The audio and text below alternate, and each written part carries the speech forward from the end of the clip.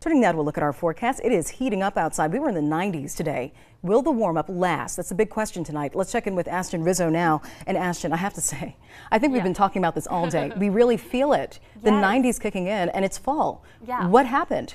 That is correct. we are definitely feeling the 90s. And the thing is, is that we have this cool front that's going to move through tonight. And I call it a cool front, not really a warm front or a cold front because those temperatures are going to be in the lower 80s still for tomorrow, even after this cold front. So we're still sitting above average for tomorrow. Definitely a hot first week of October, if you ask me. Looking mostly clear across all of our cameras right now. We have our May Manhattan camera, our Mayetta, Emporia, and of course our Topeka camera behind me right now. Temperatures, though, are continuously dropping. We do have that front that's just making its way across Kansas right now, helping to drop some temperatures. We're already at 58 for Goodland, Kansas.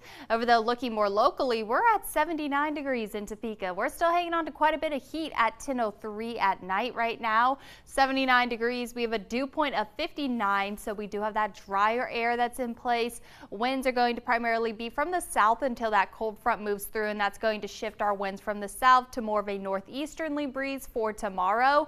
Temperatures overnight are falling into those middle to probably upper 50s for most of us.